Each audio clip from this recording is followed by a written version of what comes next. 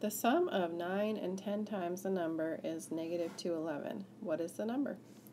So we have 9 plus 10 times a number, so I'm going to use x as my number. This is or equals negative 211. So if I subtract 9 on both sides, I get 10x is equal to negative 220. Then divide both sides by 10, and is equal to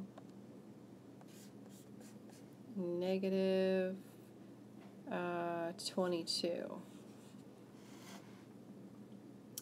So um, the equation would be the 9 plus 10x equals negative 211, and our x is equal to negative 22.